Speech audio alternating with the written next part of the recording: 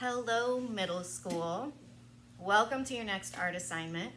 For this one, we are going to be delving deeper into the world of two-point perspective. Good times.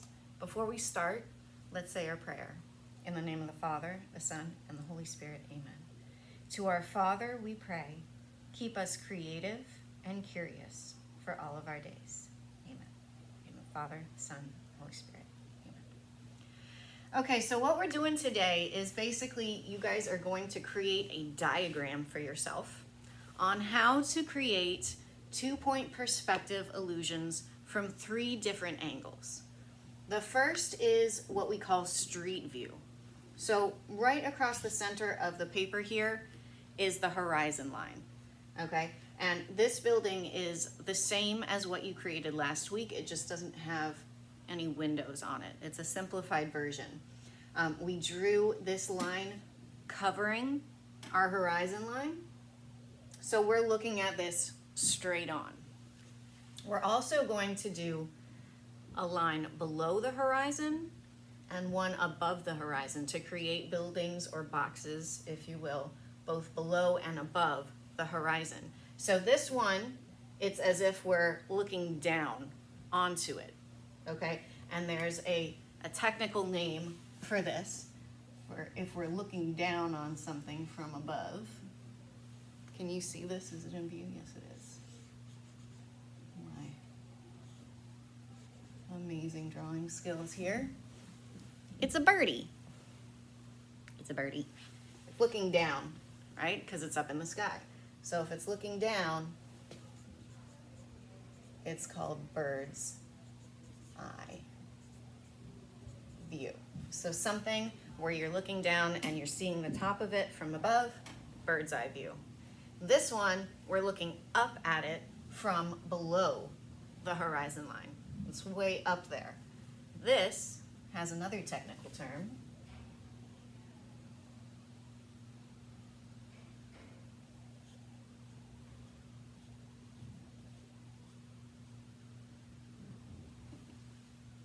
That's a worm, a little earthworm, living down in the ground, poking its little head out, looking up at the world.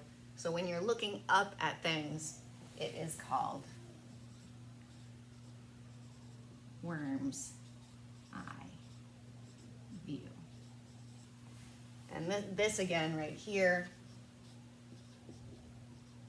just your basic street view. So once you have these three views down with two-point perspective, you can pretty much create any scene that you would like with buildings, boxes, what have you, in perfect two-point perspective. So we're gonna learn how to do this today. Let's get started.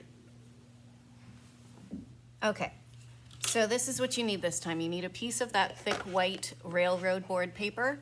Um, if you still have the one from your two-point perspective assignment the last time, you can just flip it over, use the back side. Or if you don't have that anymore, just get a new one out. This is the 11 inch by 14 inch paper.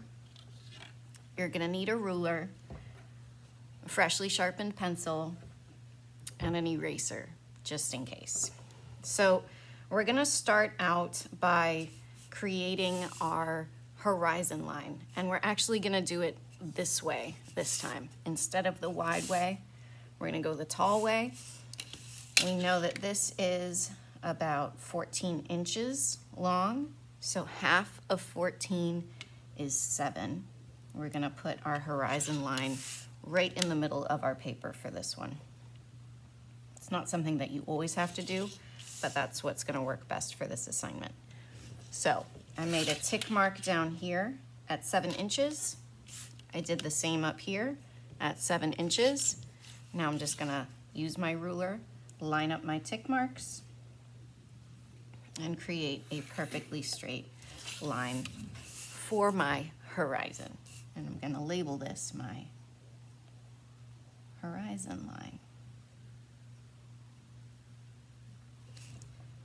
Now I'm going to determine two vanishing points towards the edges of my paper. Doesn't matter exactly where they are. I'm gonna label these vanishing point.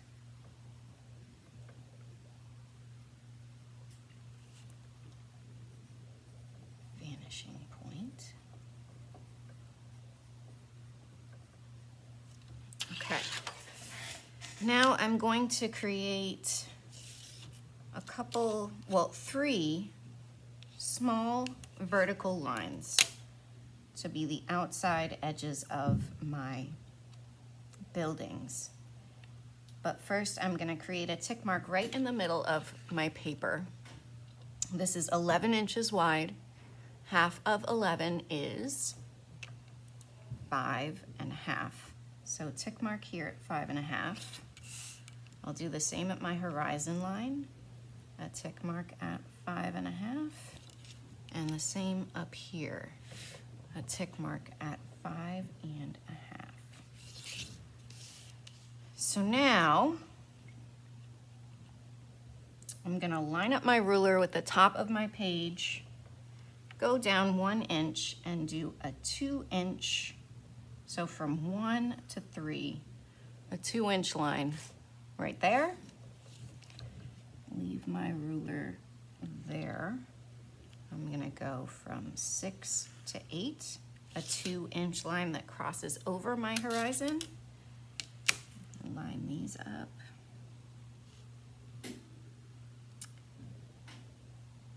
And a two inch line down here, actually probably easier to just flip over your paper,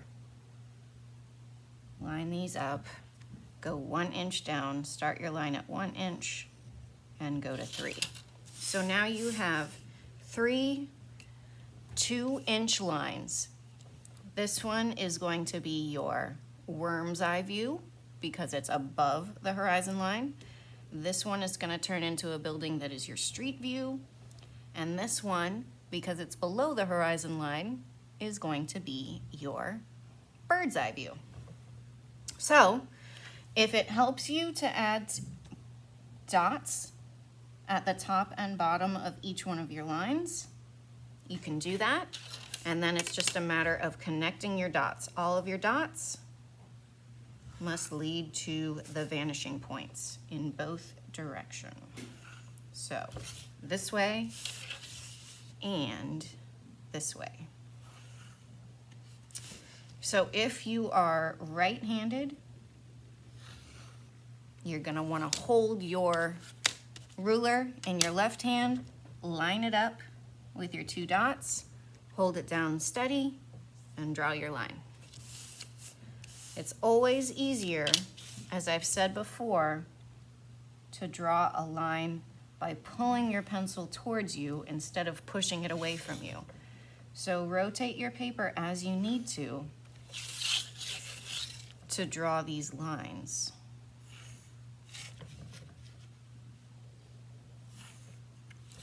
All right, and then your worm's eye view.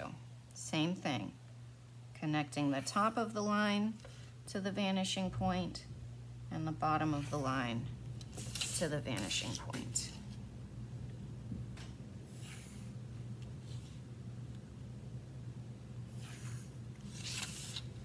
Okay, so now you should have something that looks like this. The next thing that we need to do, like you did on your last one, is draw perfectly vertical lines to become the edges of these boxes. So I am going to line up my ruler. So this center is at five and a half. That's where we put it. I'm just gonna go out to, I'm gonna go out an inch. So I'm gonna go to four and a half and six and a half. And I'm gonna do the same thing down at the bottom of my paper. Four and a half and six and a half. Because what I'm doing here is I'm creating tick marks to line up so that I know that I have perfectly vertical lines for the edges of my building. Of my buildings, I should say. So one line there, one line there. Line these up. Remember, this is the edge of your building. So you only have to draw between these two directional lines. We'll do the same thing over here. We're gonna make these tick marks. One was at, let's see, line up my five and a half right there.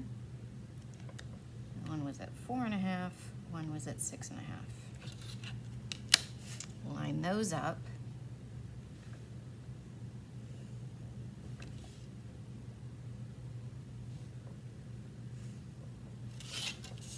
So now all three of my boxes have their outer edges drawn. So the last thing that you need to do on this is you need to create the bottom of this building and the top of this building.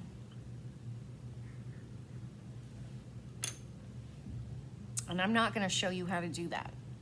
I want you to try to figure it out. And if you don't, don't get frustrated. It's okay, I will eventually show you. But I don't want to show you right away because I want you to exercise your brains a little bit on this one. So hold on, I'm going to show you something. I'm going to give you some clues.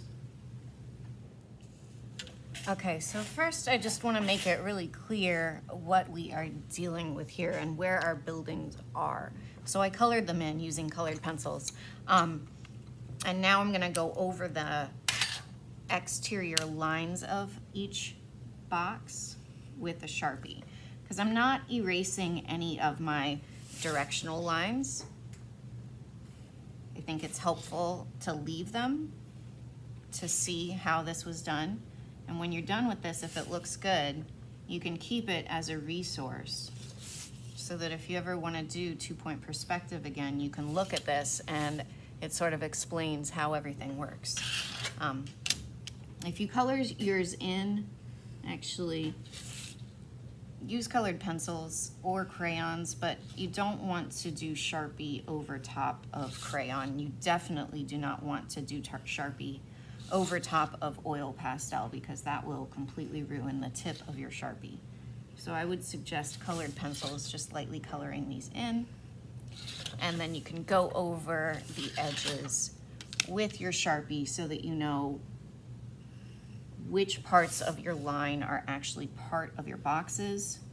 And then the lines that are in pencil are just your directional lines that show you how you arrived at having these boxes in perfect two-point perspective. So there you have it all clearly laid out. You can label this one, which is above the horizon line, as your worm's eye view.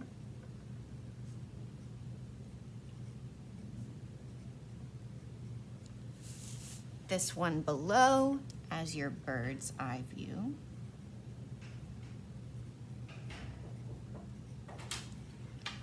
Hey, Miss Judy. Hi. How are you? Good. Then this one is street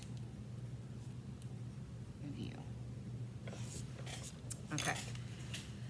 So the street view is done. It doesn't need a roof, it doesn't need a floor because we're looking at it straight on and we can't see either of those things.